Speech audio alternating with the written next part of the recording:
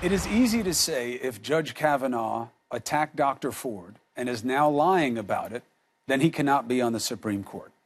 The problem is, it will be very difficult to establish those preconditions to know that he did it and that he is therefore lying under oath right now.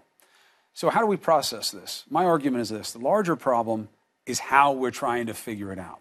We're dealing with the most sensitive and complex kind of allegation, something that requires understanding and openness and a willingness to accept what you don't like. Now, we're doing that in a confirmation process with senators that is about none of those things I just mentioned. I would argue it is a perversion of due process, not due process in fact. It is about non disclosure, it is about political convenience. And our leaders are part of the problem in an instance when we are looking for solutions. They have not hammered out their own standard for how to treat allegations like this on Capitol Hill. They're still using our money, as far as we know. The president is all but disqualified from being a moral guide given what he has been alleged to have done and how he has spoken about people in situations like Dr. Ford's. Leaders from his party have surrendered high ground for common ground with the president on matters of political convenience. As a result, this is unlikely to be satisfying, but at least, at least, the two sides will be heard. It's a low bar, but you know what? It wasn't certain that we would even get that until later on this afternoon.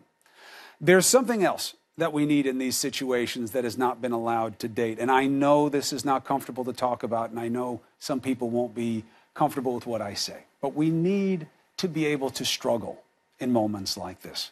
The Me Too movement has empowered people who have been too often disadvantaged, forgotten, and disrespected. That's just the truth. Everyone must be heard, whether you like what they say or not. And too often, when it is clear that something wrong happened in the past, it's been denied or dealt with deceptively.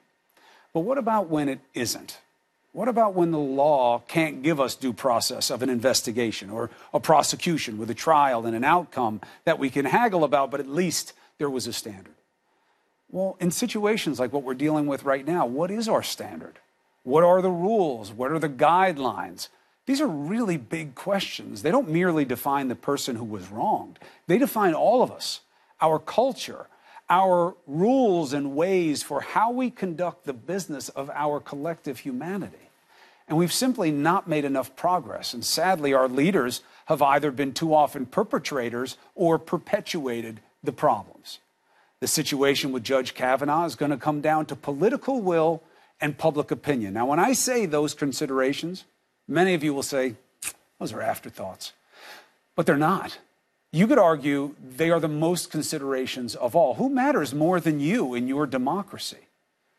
The questions who are we? What are we about? What do we tolerate? What do we condemn? How much do we decide which of those fates is fair? And how do we make those decisions? This is heady stuff. And we are dealing with confusion in our political culture right now on all of those points.